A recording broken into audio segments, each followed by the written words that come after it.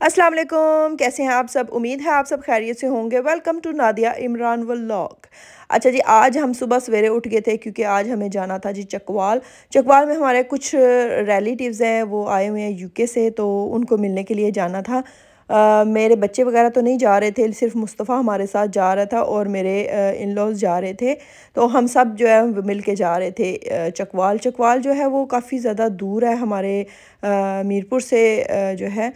वहाँ तकरीबन तीन से ढाई घंटे लग जाते हैं। डिपेंड करता है कि ट्रैफ़िक कितनी ज़्यादा हो जाती है। आजकल इतनी ज़्यादा ट्रैफ़िक हो गई है ना कि जहाँ पे बंदे ने एक घंटे में जाना होता है ना तो वहाँ पे दो घंटे लगते हैं। तो इसलिए हम जो है वो जल्दी जल्दी निकलना चाह रहे थे ताकि जो है वो ट्रैफ़िक इतनी ज़्यादा ना हो जाए। अच्छा जी अभी आ, मैंने अपने हस्बैंड के लिए नाश्ता रेडी किया और मैंने मुस्तफ़ा को नाश्ता जो है वो दे दिया था क्योंकि मुस्तफ़ा पहले उठ गए थे। तो वो जब उठते हैं ना मुस्तफ़ा साहब कहते हैं कि बस मुझे फ़ौर से नाश्ता मिले। तो मुस्तफ़ा को मैंने नाश्ता दे दिया फिर उसके बाद मैंने अपने हस्बैंड के लिए ये नाश्ता रेडी किया और वो जो है वो रेडी हो चुके थे। फिर उसके बाद मैंने मुस्तफ़ा को भी रेडी करना था। तो जल्दी जल्दी जो है वो हमने नाश्ता किया। मैंने नाश्ता नहीं करना था क्योंकि मैं जब भी कहीं जाती हूँ ना तो मैं नाश्ता नहीं करती, क्योंकि जब सफ़र पे जब बंदे ने जाना होता है ना, सफ़र है तीन घंटे का था, लेकिन ये है कि ढाई घंटे भी लग सकते हैं, ये मुझे आइडिया नहीं था, क्योंकि मैं फ़र्स्ट टाइम जा रही थी। तो जब नाश्ता करके निकले ना तो सुबह सुबह बहुत ज़्यादा तबीयत ख़राब हो जाती है, जिसकी वजह से फिर मैंने जो है वो नाश्ता स्किप किया कि मैं रास्ते से कुछ जो है थोड़ा सा ले लूँगी तो मैं नाश्ता जो है वो नहीं करके जाऊँगी। अच्छा जी उसके बाद जी मैंने फिर मुस्तफ़ा को भी रेडी करना था, बहुत सारे काम थे, बाकी बच्चे भी सो रहे थे, उनके लिए भी मैंने रेडी करना था तो फिर मैंने जल्दी जल्दी से जो है वो नाश्ता रेडी किया। अच्छा यहाँ पे मैंने चाय वगैरह डाली, चाय में जो है मैं अदरक, सौंफ और जो है दालचीनी वगैरह, ये सारी चीज़ें मैं लाजमी डालती हूँ क्योंकि चाय का ना मज़ा ही कुछ और हो जाता है। तो यहाँ पे जी मैंने हस्बैंड के लिए नाश्ता जो है वो रेडी कर लिया था तो वो नाश्ता जल्दी से करेंगे जब तक मैं होती हूँ अब रेडी अच्छा जी, यहाँ पे मैंने ये सूट ब्लैक अपना सेलेक्ट किया था और ये जो सूट है ना, ये मैंने सफ़ायर से लिया था। इसका जो है मुझे लगा था कि चलो ये मैं यूज़ कर लेती हूँ क्योंकि मेरा पहले दिल था कि मैं बिल्कुल सिंपल सा सूट पहन के जाऊँ, लेकिन इतनी दूर जाऊँ तो सिंपल बिल्कुल तो नहीं ना अच्छा लगता।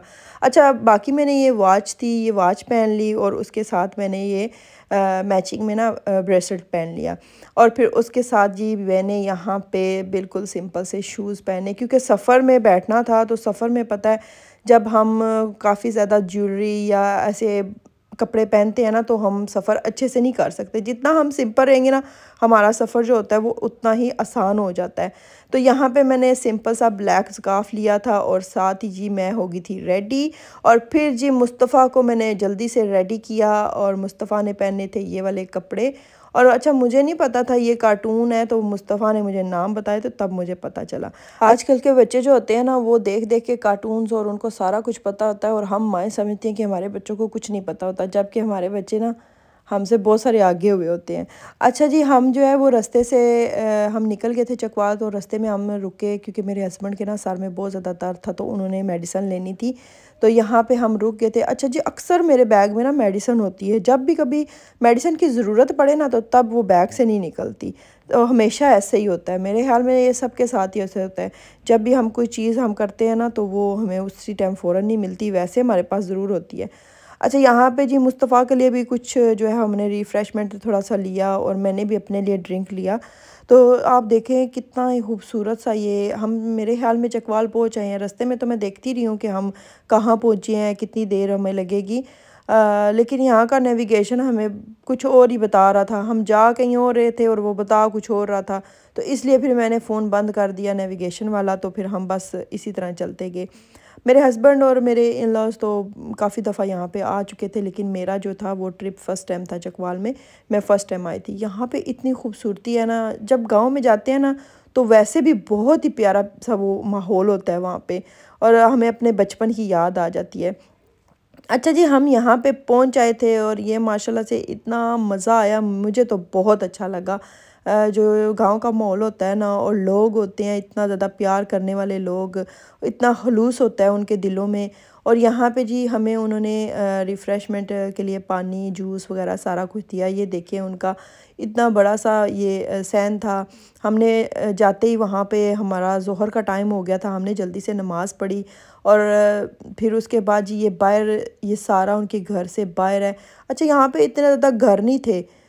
थोड़े से ही घर थे, लेकिन बहुत ही ज़बरदस्त घर बने हुए थे और ये सारा इलाका बहुत ही ज़बरदस्त था। मुझे बहुत मज़ा आया। अच्छा गायें, भैंसें, ऐसे लगता था जैसे मैं अपने बचपन में चली गई हूँ।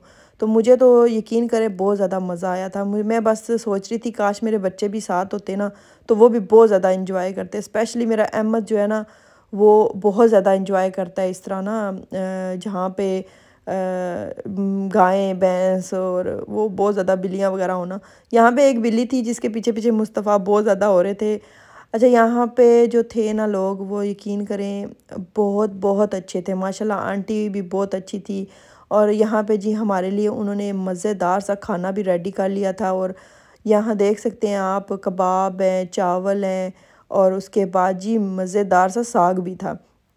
तो मैंने तो साग लाजमी खाया, चावल भी खाए, सब कुछ बहुत ही मज़ेदार सा बना हुआ था। तो सबने काफ़ी इंजॉय किया। यहाँ पे खाना वगैरह भी।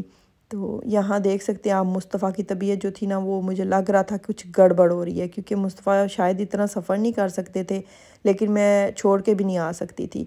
अच्छा जी स्वीट में आप देखें कितना प्यारा सा ये कस्टर्ड बनाया हुआ था और फ्रूट चाट थी इतने मज़े की फ्रूट चाट थी बहुत मज़ा आया। अच्छा यहाँ से खाना वगैरह जब हमने खा लिया ना तो उसके बाद जी आ, आ, कुछ और रिलेटिव्स भी सारे इकट्ठे ही रहते थे तो कुछ के घर हमने खाना खाया कुछ के डिज़र्ट खाया और यहाँ पे जी हमारा था टी टाइम हमने तो इतना कुछ खा लिया था यकीन करें हम बहुत ज़्यादा फुल हो चुके थे माशाल्लाह। सब इतना प्यार और खलूस से खिला रहे थे ना इतने ज़्यादा खुश थे और यकीन करें मज़ा आ गया था कि दिल करता था कि हम घर जाएँ ही ना। मतलब वहाँ का माहौल आप देख सकते हैं और मौसम भी इतना ज़बरदस्त हो रहा था ना बहुत ही मज़े का। यहाँ पे आ, मेरी जो सास अम्मी हैं इनको फूल बहुत पसंद आए थे तो यहाँ से एक जो है वो फूल उतारा। इतने बड़े बड़े फूल थे तो यहाँ पे भी फूल होते हैं सारी जगह पे लगते हैं लेकिन फूलों की जब केयर की जाए ना तो इतने मज़ेदार से ये बड़े बड़े फूल लग जाते हैं। मज़ेदार तो नहीं होते, हर खाते हुए भी मज़ेदार ही हो जाते हैं। अच्छा यहाँ पे आप देखें, ये कितना खूबसूरत है मतलब जब आप इधर रहते हों और खुला डुल्ला इतना, और हमारे यहाँ पे बंद घर बन जाते हैं और फिर बाहर सैन भी नहीं होते, यहाँ पे आप देखें, बंद तो घर है, लेकिन सैन काफ़ी बड़ा था और बहुत ही मज़ा, और इन्होंने भैंसें भी रखी होती और स्पेशल अपने लिए दूध पीने के लिए ना, और मक्खन, ये वो सारी चीज़ें करने के लिए इन्होंने अपने लिए भैंसें रखी हुई थी। तो कितना मज़ा आता है, हर चीज़ खालस होती है, हर चीज़ इतनी अच्छी होती है और इसीलिए लोगों के दिलों में ना खलूस भी होता है।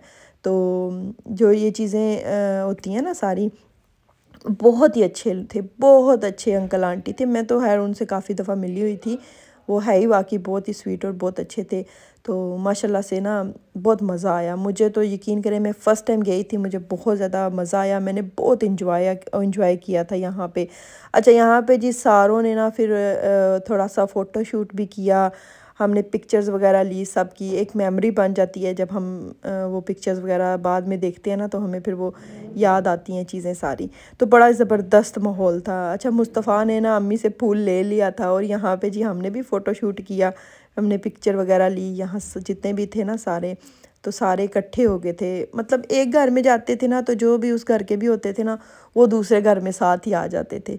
तो ऐसे ही ये इतना मज़ा आता है ना, यकीन करें, गाँव में जाए ना तो वहाँ पे कुछ प्यार खलूस नज़र आता है। लेकिन शहर में ऐसा होता है, शहर में भी पता नहीं जहाँ पे फैमिलीज़ होती हैं बट वो माहौल नहीं होता, सब बस बिज़ी बिज़ी लाइफ होती है सबकी। तो फिर उसके बाद जी हमने जब फ़ोटोशूट हमारा जब ख़त्म हुआ तो फिर उसके बाद हमने जाने की तैयारी की क्योंकि बहुत ज़्यादा हमें रात हो जानी थी और मुस्तफ़ा की तबीयत जो है ना वो मुझे सही नहीं लग रही थी। तो इसलिए फिर हम जी यहाँ पे अल्लाह हाफिज़ किया और हम घर की तरफ़ निकल आए और रास्ते में मुस्तफ़ा को वॉमिटिंग हुई, रास्ते में रुके, नमाज़ वगैरह मगरब की पड़ी तो घर वापस आ गए। अल्लाह हाफिज़।